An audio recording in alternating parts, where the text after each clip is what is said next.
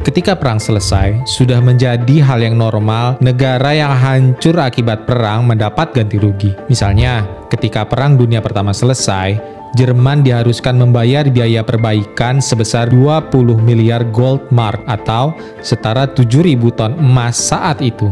Dan ketika Jepang menjajah Indonesia selama tiga setengah tahun, Jepang membayar ganti rugi sebesar 223 juta US dollar.